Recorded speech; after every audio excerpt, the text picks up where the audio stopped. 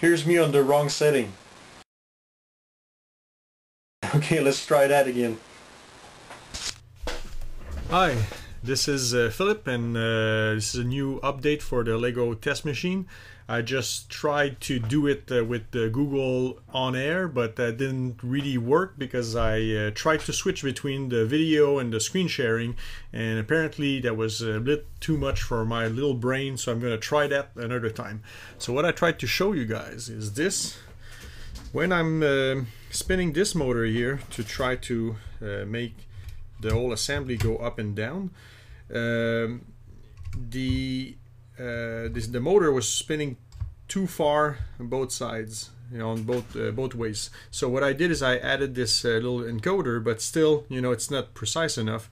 So what I did is I added this little bar here and with that basically if I go on this way maybe you're gonna see it better. Basically what happens is when it goes up it, it, it goes against that and when it goes down it goes against the bar the same bar. And what this does is uh, you know it's a super crude way of making sure that it goes exactly where I want it to go. The big problem that I have is that it pushes this tower assembly a little bit too hard so you know I'll tweak it and figure out ways to make it uh, nicer. And um, that's my update uh, for today so uh, thanks you guys for watching and I'll give you more as soon as I have some